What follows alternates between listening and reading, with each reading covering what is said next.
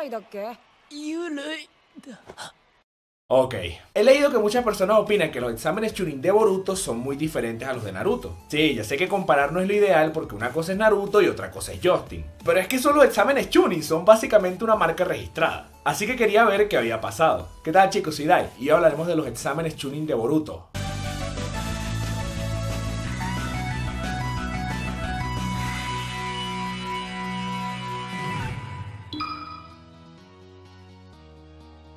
Ah, los exámenes tuning, wow, qué nostalgia. No son cualquier prueba, ¿eh? Son los exámenes tuning. Cualquiera que haya leído el manga original sabe lo que esto significa. Peligro, terror, sangre, goma de mascar, un iPod...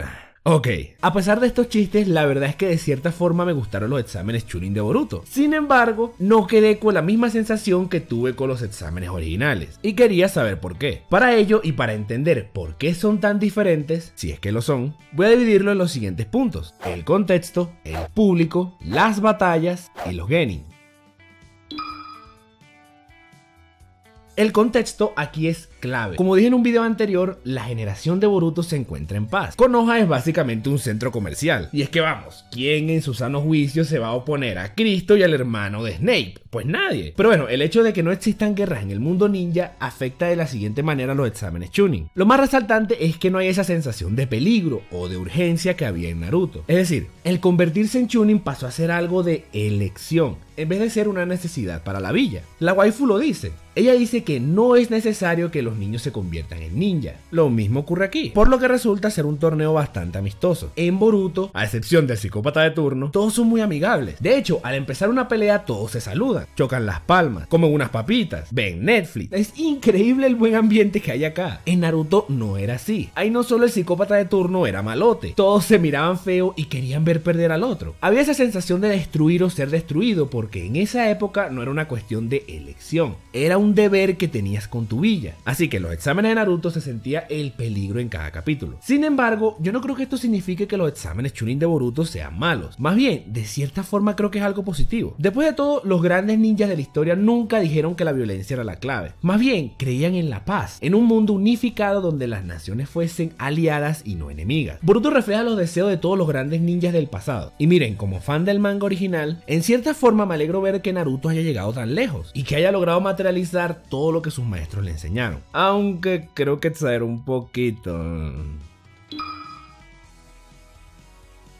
El público jugaba un papel muy importante en los exámenes Chunin originales. En el Naruto original, todos estaban atentos a ver qué hacía cada genin, a ver qué podían aprender y cómo usar eso para mejorar. Incluso los ninjas de élite. Uno de los momentos más memorables para mí fue cuando el Saiyajin mayor le dijo a Kakashi que el Saiyajin menor podía abrir las puertas. Kakashi se quedó en shock y lo primero que hizo fue usar el Sharingan para ver en detalle todo lo que hacía Gokucito. Ya cuando este se transformó, pues está de más decir que Kakashi se los pantalones. Estos detalles hacían los combates aún más tensos porque ayudaban al lector a entender que la situación era seria e importante. En Boruto, pues parece que los niños estuviesen en un concurso de repostería o de castillos de arena, porque a todos los adultos les sabe a lo que hagan o no hagan. Y no es porque los genin no saben lo que hacen. Miren, vemos ninjutsus elementales, controles avanzados de chakra y estrategias, pero todos actúan como si estos niños estuviesen dibujando con crayón. Esto puede deberse a dos motivos. Primero porque todos están en paz y todas las aldeas son amigas. Ya no hay ese recelo de esconder los jutsus secretos de la villa o las habilidades de tus soldados. ¿Para qué? Esto hace que a nadie le sorprenda nada o simplemente a nadie le importa un ramen lo que pase. Segundo, como la escala de poder actual es muy diferente a la que existía anteriormente,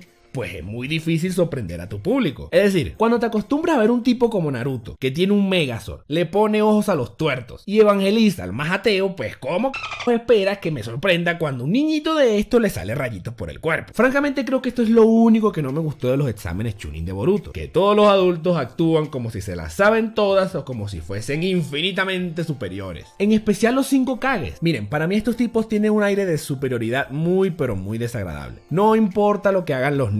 Todo les da igual. Sí, claro, están sentados en la misma mesa que Jesus, pero man, al menos podía mostrar algo de respeto o de entusiasmo o de algo. Todo les daba igual. Solo hablan de, oh, parece que tal villa va a ganar. O si no, no, el Hokage tiene sentimientos. Es más, Kurotsuchi dice en el combate final algo como, ah, dos contra uno y de todas formas van a perder, qué aburrido. Hello, ¿de dónde sacó esta mujer tanto ego? Sí, claro, en Boruto la dibujaron súper sexy, pero hasta donde yo sé, es la Kage con menos méritos del mundo. Y probablemente de la historia. De hecho, cuando apareció en Boruto, uno de los niños dijo algo como, Oh, tan legendaria como cuando no retrocedió contra 10.000 Setsus. What the fuck, ¿qué es eso? Si en realidad no hizo nada. Sus tales logros fueron más relleno que las misiones de Shino. Estos tipos le quitan a los niños un mérito enorme. Y miren, podrá gustarles o no el anime de Boruto. Pero hay que aceptar que estos genin tienen mucho talento y algunos mostraron cosas espectaculares. Es más, aquí hay otra cosa que no me gustó nada y es la poca importancia que se le da a Sarada. Macho, yo sé que Kishi tenía sueños húmedos con Sasuke, pero en los exámenes Chunin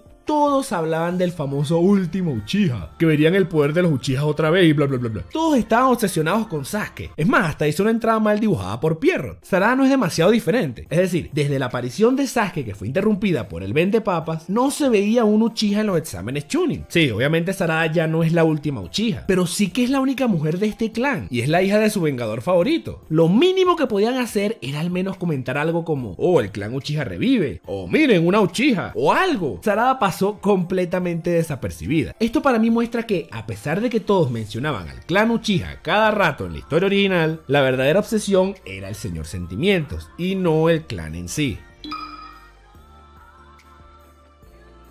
He leído varias veces que las batallas de estos exámenes son malas y francamente yo no lo veo así. Evidentemente, las batallas de Naruto original tenían mucho más contenido, pero eso es debido a lo que mencioné anteriormente. Los Genin tenían un deber que cumplir con su villa y además tenían un público mucho más interesado. Son elementos que cuando los juntas tienes un torneo lleno de suspenso, tensión y sorpresas. Pero a pesar de que estos elementos no están acá en Boruto, las peleas a mí me parecieron interesantes. Eso sí, la censura afectó muchísimo en el desarrollo de las batallas y les quitó un poco de crédito por ejemplo, Sarada recibe directamente una mezcla de los ataques de Conan con la Satetsu del tercer Kasekage y sale disparada hasta que se estrella con la pared de concreto. Cuando la cámara la enfoca, solamente se ensució un poquito. Yo no considero que la sangre sea completamente necesaria para hacer una buena pelea, pero macho, hay veces en donde al menos un poquito de sangrecita le daría credibilidad a los ataques. Pero a pesar de esto, no creo que las peleas hayan sido malas. De hecho, sí me gustaron y disfruté varias de ellas, como las de Shikadai, Sarada y Mitsuki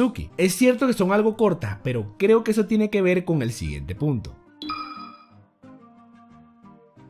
Loco, estos Genin están OP. Siempre se ha dicho que las nuevas generaciones superarán a las anteriores. Yo particularmente no creo en esa frase. Más aún viendo que sus nuevos soldados almuerzan en McDonald's. De verdad me cuesta muchísimo creer que va a aparecer alguien más poderoso que Naruto y Sasuke. La única forma que veo esto posible es que empiecen a inventar cosas raras y muy ajenas a lo que era la filosofía del manga original. Cosa que parece estar en camino con mis marcianos favoritos. Pero bueno, si la frase es correcta, por los momentos los Genin van en buen camino. Recuerdo que cuando el sentimental hizo el Chidori por primera vez en los exámenes tuning, todos estaban en shock. Incluso Sakura dijo algo como, Oh my god, puedo ver el chakra con mis ojos. Y el super cejón aprovechó de inventarse una historia rara y exagerada del Raikiri de Kakashi. Aquí estos niños hacen toda clase de ataques elementales. Incluso hay niños que usan dos elementos. Sí, en los exámenes anteriores Sasuke ya sabía utilizar dos, pero le costaba una vida hacer el Chidori. Aquí, estos niños lanzan técnicas como si se tratasen de unos shuriken. Esto muestra que de cierta forma, el nivel promedio de los Genin ha subido muchísimo. Y eso es solo el promedio. Aquí los más fuertes tienen la Satetsu, un elemento legendario que usaba Sasori con su marioneta del Kasekage. Y el Senjutsu, que era usado por su majestad Jiraiya y el mejor Naruto de todos. Yo recuerdo que leí comentarios negativos de la pelea de 3 segundos de Sarada. Ok, pero ¿qué esperaban? Esta niña tiene el talento de Sasuke y la fuerza de Sakura. Si le ponen a un ninja de esos de relleno como lo eran los del sonido en el examen anterior, obviamente lo va a vencer en 3 segundos. Es que incluso las técnicas que ya conocíamos, estos niños la hacen mejor. Miren el caso de Shikadai, por ejemplo. El Kageman es una de las técnicas más rotas del manga para mí. Cuando peleas con un Ara en uno versus uno, el truco es evitar que te toque su sombra, como lo hizo Hidan. Pero este niño extiende su sombra de manera uniforme a todas las direcciones. Loco, pero ¿qué es eso? Shikadai está OP. Hasta Naruto quedó como, ¿pero qué pasa aquí? Ya ven, debe ser por el nombre, supongo. Lo que trato de decir es que las peleas son rápidas, porque antes, cuando un Genin conectaba un golpe, te hacía daño, pero aún podías responder. Un Genin de Boruto te conecta un golpe y ya la pelea termina, porque son letales. Para mí este punto no es negativo. A veces menos es más, y siento que se le da un buen ritmo a los combates. Pero bueno, ya eso es cuestión de gustos y lo respeto. Los exámenes Chunin de Boruto sí que fueron diferentes, pero no por eso creo que hayan sido malos. Sí, tienen un aire muy diferente a los anteriores, pero es que esa es la tonalidad de Boruto. Y basándonos en eso, realmente no está tan mal. Es cierto que la censura afecta muchísimo, pero ya eso también es parte de este anime. Como dije, mi único problema con estos exámenes fue el público, que para algunos podrá ser una tontería, pero es que en serio a mí me desespera el poco interés y el aire de superioridad que tienen todos, que realmente no entiendo por qué tienen ese ego, porque a la final los que van a resolver los problemas son Jesus y el hermano de Snape, no ellos. Pero bueno, ya Boruto está a punto de alcanzar la parte en donde se quedó con la película. Y honestamente creo que soy el único que no está muy emocionado. Y es que mm, esos temas son... Eh, mejor lo dejo para otro video. No te vayas todavía. Mi Facebook revivió. Y basándome en sus comentarios de YouTube, a partir de ahora lo utilizaré para decidir cuál personaje será el siguiente en recibir su historia y evolución. Si quieres participar, sígueme. En diagonal me dicen die. O simplemente búscame en la barra. Igual el link siempre lo pongo al final de la descripción. Ahora sí, de vuelta a mi discurso final. Hey chicos, soy Dai. Si les gustó este video, porfa suscríbanse. Y si pueden regalarme un like, eso me ayuda muchísimo. Mil gracias por su apoyo, de verdad, muchísimas gracias. Nos vemos hasta la próxima.